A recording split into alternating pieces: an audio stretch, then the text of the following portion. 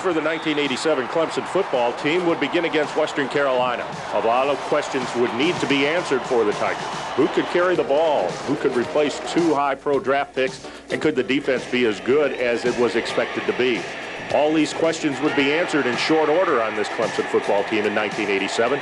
There'd be a lot of fine running backs. There'd be plenty of defenders, and the Tigers would record an impressive win to begin the 1987 football season by knocking off Western Carolina. Then it was on the road for one of the infrequent trips out of the valley in 1987, and Wesley McFadden would make it count for the Tigers. On a terrible day, a muddy field in which the game would be plagued by rain and downpours throughout, Wesley McFadden would make his mark. He would rush for a game-high total of 197 yards, and he'd lead the Tigers to an impressive win over Virginia Tech.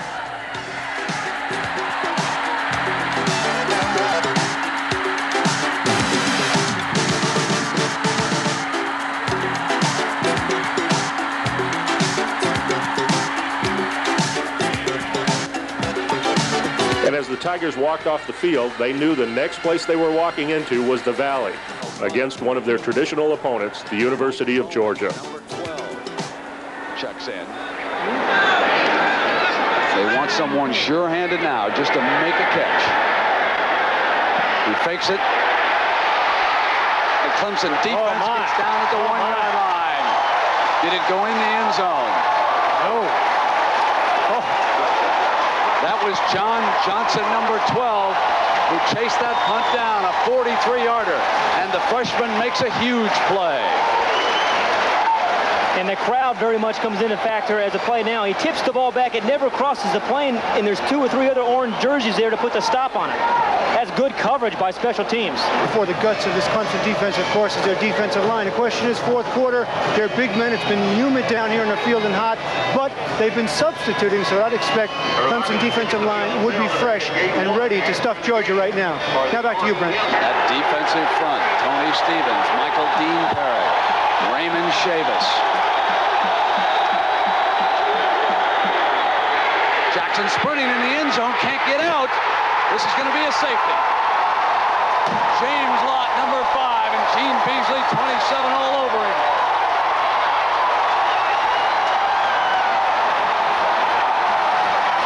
Boy, they took a gamble. They figured they were going to come with some safe type of play, and they went an all-out blitz. And look, look, at all the penetration. Jackson had no chance whatsoever. And Lott, number five, did a great job of slowing him down to, so until his teammates got there.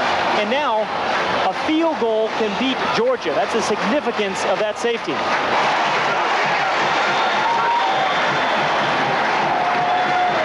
Have set up a third and long situation. They've made it very tough on this call. Now the option. Allen steps away. Allen creates it. Allen for the corner.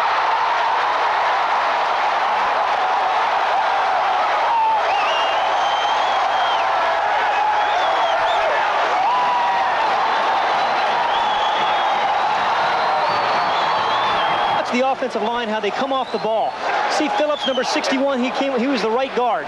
The huge hole, the key block by Phillips, the right guard who pulled and trapped and created the big hole for Allen.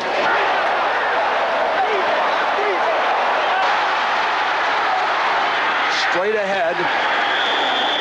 That was Tracy Johnson up over the top. Now the clock running. Treadwell from the sideline. Here it comes. A year ago, Treadwell defeated Georgia with a field goal. History can repeat itself here this afternoon. It'll be a 21-yard attempt. Treadwell is three of four. The crowd will tell you this story.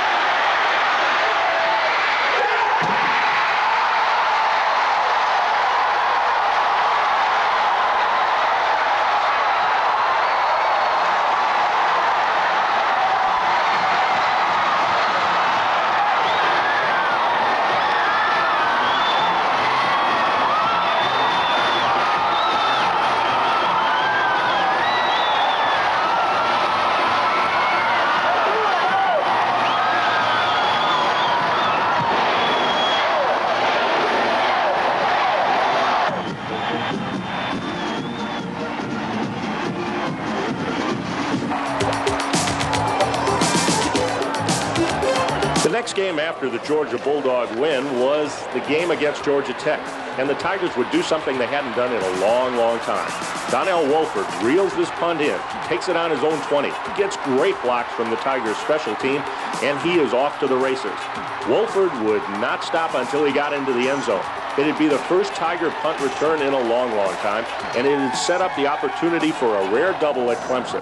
Late in the ball game, Joe Henderson on the receiving end of this kickoff by the Georgia Tech Yellow Jackets.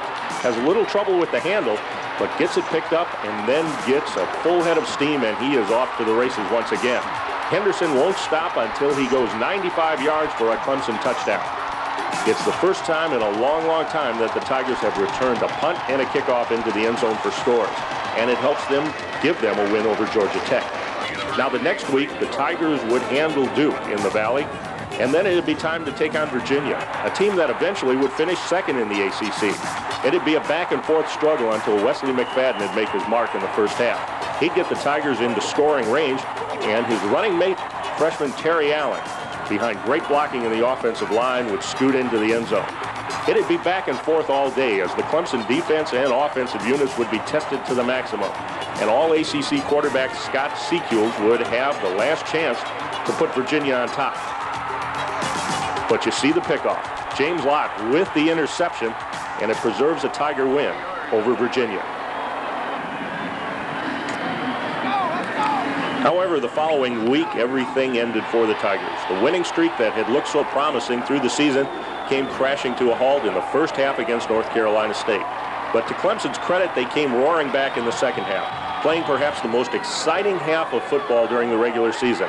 Rodney Williams would lead the Tigers back into this contest get them in a position to have a chance to win it. After trailing by almost 30 points, Tracy Johnson, Terry Allen, Rodney Williams, and the entire Clemson offense and defense would get Clemson back into the football game. Ricardo Hooper's touchdown had cut the lead down to almost nothing, but it'd still be enough for North Carolina State to hang on and take a win. The one special note in the ball game is that Michael Dean Perry, with this sack late in the fourth quarter, would break his brother's all-time record in the ACC. The following week against Wake Forest, the Tigers would have to recapture that spirit that had led them to such a successful start on the 1987 football campaign. And Joe Henderson was the man to ignite that spark. The sophomore running back would show Clemson fans yet another weapon in the Clemson arsenal. The third tailback to have an outstanding day on the season. Henderson's late fourth quarter touchdowns helped provide the winning margin for Clemson over Wake Forest and get them back on track to continue on their quest toward an ACC championship. And that quest would go through Chapel Hill, North Carolina, where the Tar Heels, a team always expected to challenge for the title, much like Clemson, stood in Clemson's way. In a televised game on ESPN, both teams would slug it out through much of the contest. It'd be a game marked by tremendous defensive efforts. Michael Dean Perry with a sack on Mark Maye. And Rodney Williams choosing the opportunistic moment to find Gary Cooper on a touchdown pass to give Clemson a lead shortly before halftime. In the second half, the Tar Heels would tie the ball game, and it would come down to a last-minute drive once again. As every Clemson fan has seen so many times this year, the option play with Terry Allen uh, gain a first down in a big crucial third and fourth down situation. And then with Tracy Johnson leading the way and carrying the ball many times himself, Terry Allen would move even closer.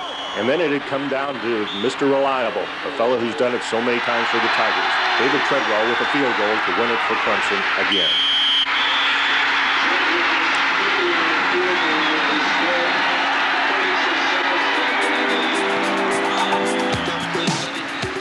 13 to 10 win over North Carolina would give the Tigers a chance to wrap up an ACC championship at home. And before a big crowd and in orange breeches, the Tigers would do it against the University of Maryland. And they do it through the air. Rodney Williams finding Gary Cooper on a long touchdown strike, and then Gary Cooper finding a lot of friends in the end zone.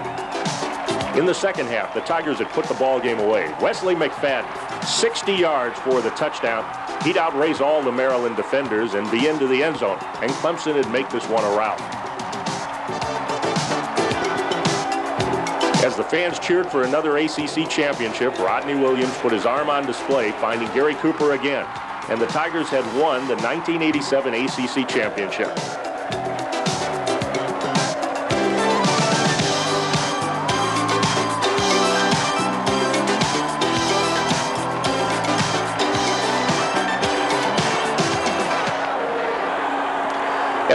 ACC championship firmly in hand, Clemson would travel to Columbia to take on South Carolina. It'd be a battle of top 10 teams featured on ESPN. And after some initial success, the Tigers would find the going tough against a fired-up Carolina football team. South Carolina had pointed towards their date with Clemson all season, and they were ready for the Tigers. Clemson would lose to Carolina, but they'd have a chance to make up for it when they accepted a bid to play in the Florida Citrus Bowl on January 1st. It's not easy to find that perfect bowl mix. You want good preparation, but you want your kids to have a good time. In Daytona Beach, Clemson worked. Two-a-day drills greeted the Tigers after a few weeks off. Preparations continue here in Orlando as well as the Tigers get ready to take on Penn State. They're going to need all the help they can to take on one of the nationally known programs. However, this is a bowl game. This is Florida after all, and if it wasn't for the game, this would be a great vacation. There was a visit to Disney World where Clemson got off to a rough start, losing to Penn State in the orange squeeze-off.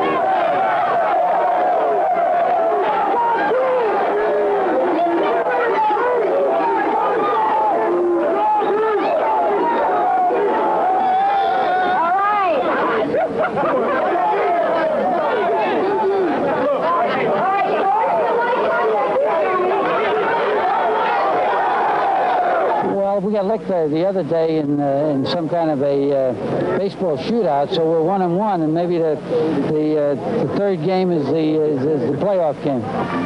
But competition wasn't the main goal today. Those things will come on New Year's Day when the two teams meet on the field. This is Disney World, and while these football players may be 19, 20, even 21 years old, they still act like kids in a place like this.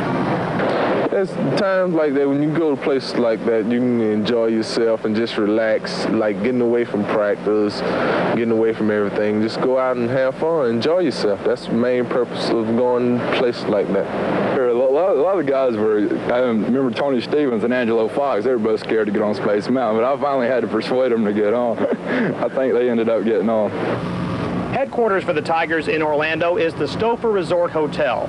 It's a stunning facility on the inside, and the folks there took real good care of the Tigers, making sure they were well nourished as always. But the sight of football players traipsing through the lobby was a little hard to get used to. Yes, uh, this is a great hotel, and uh, there's a lot of activities here in Florida, especially Orlando. Uh, I think the team, and uh, I know I'm personally having a great time down here. And on Wednesday, it was a chance for both Clemson and Penn State to give a little something back to Orlando. Shrine Charities is the major beneficiary of the Citrus Bowl, and the team spent the afternoon with children from the Shriners Hospital having a barbecue lunch and talking about the big game. I think it's great, you know, the guys from Penn State and us to come out and spend time with the Shriners. Um, you know, these kids are aren't, as fortunate as we are to be able to perform in a game. And, you know, I think the guys out here are really enjoying themselves, you know, and, and showing the kids how much they appreciate them, you know.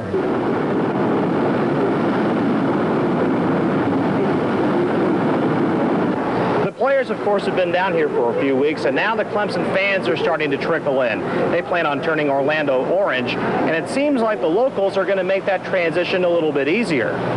It has been a great trip from the work of the Citrus Bowl Committee to the work of Clemson Athletic Director Bobby Robinson and his assistant Len Goff. To make it a complete success for the Tigers, that depends on what they do on the field against Penn State. On just about every college football team, the most important players are seniors, the fellows who have been there before, who know the ropes, who are able to lead the younger players, and hopefully develop a successful attitude both on and off the field. At Clemson, that is exactly the way things are done. The seniors are a very important part of the way decisions are made on this football team. And this year, there's only a small amount of them, which has meant that they've had their work cut out for them. Me and Michael Dean and James Earl and Pyramid, and you know, just to name a few, uh, we had a big job doing. Coach Ford told us at the first of the season, he said, I've, uh, I rarely have as few seniors as, as y'all. He said, y'all, it's, it's, it's going to be tough. And like you said, we meet with him, we talk with him on Sundays after the game. And uh, we had a big challenge like every week. I mean, even though it was, uh, say, somebody like a, a, smaller opponent we played, it was still a big challenge for us because we had to, we were responsible for the team's attitude during the week. One of the ways to develop that good attitude is to have the seniors perform well. And this year, all of the Clemson seniors have been vital parts of the way the team has played the 1987 football campaign. Oh, yeah. I guess the guys look up to you and they respect you a little bit more. That, that helps out a lot, you know, when you say something, people are going to go, oh, man, you know, they go, okay, you know, we'll do that.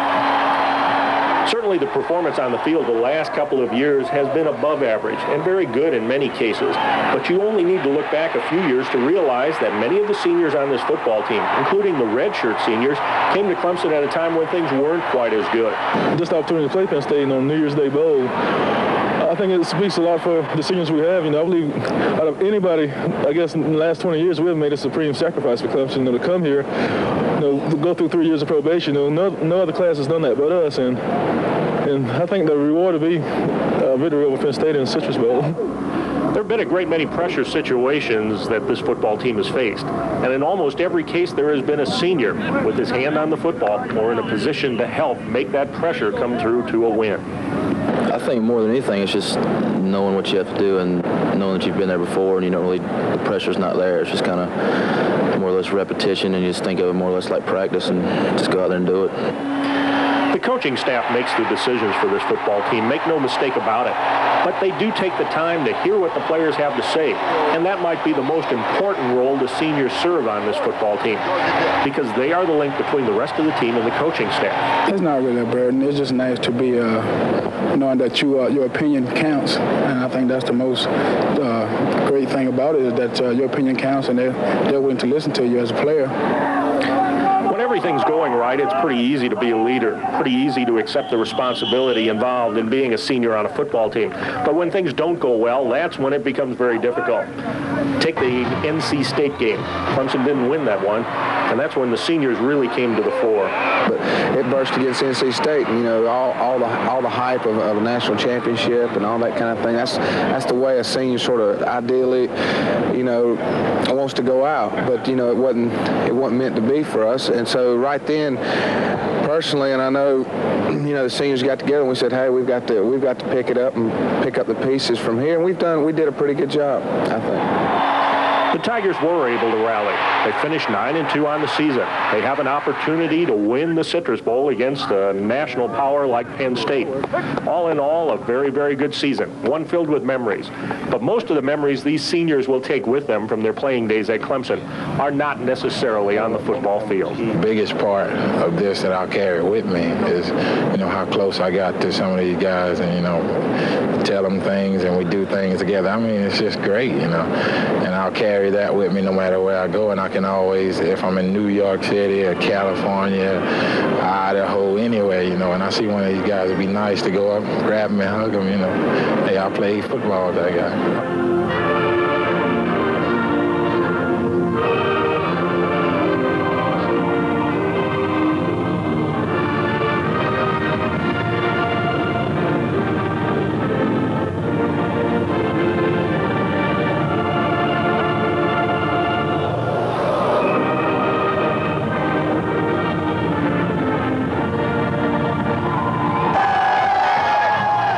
Clemson Tigers came into the Citrus Bowl game against Penn State with the intentions of playing well, and they came out and kind of showed tremendous offense.